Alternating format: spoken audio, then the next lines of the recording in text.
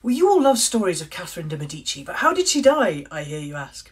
Well, Catherine de' Medici was a powerful woman. She was the Queen of France in the 16th century, wife of the king, mother to lots of other kings. She'd seen so much and was blamed for a lot of it, but she managed to keep her head, and she died at 69 years old of probably pleurisy.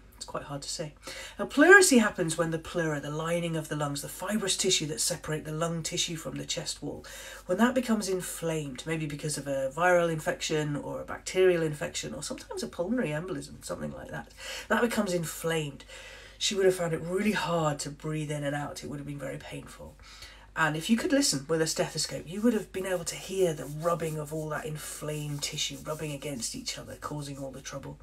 And you might be able to hear the crackling of the air as it tried to get through the lungs underneath. She would have been she would have been in a lot of pain a lot of respiratory distress.